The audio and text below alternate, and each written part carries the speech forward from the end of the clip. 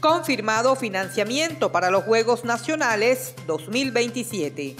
Los departamentos de Córdoba y Sucre ratifican la total disposición de cofinanciar el costo de la realización de los vigésimos terceros Juegos Nacionales y séptimos Juegos Paranacionales 2027 y segundos Juegos de la Juventud 2028.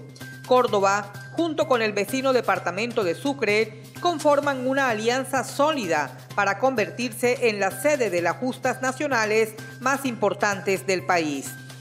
Montería, Cereté, Ciénega de Oro, Lorica, San Antero, Cincelejo, Coveñas y Santiago de Tolú cuentan con los proyectos de inversión para el mejoramiento, construcción y visión prospectiva, la capacidad hotelera y los planes para fortalecer estas dos áreas.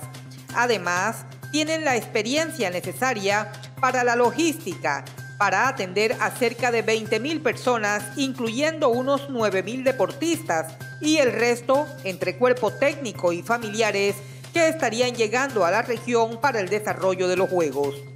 El gobernador Erasmo Zuleta manifestó que, a diferencia de las propuestas tradicionales, donde los departamentos solicitan al gobierno nacional que cubra el 70% de los costos de infraestructura, Córdoba ha decidido asumir una gran inversión plasmándolo en el reciente plan de desarrollo.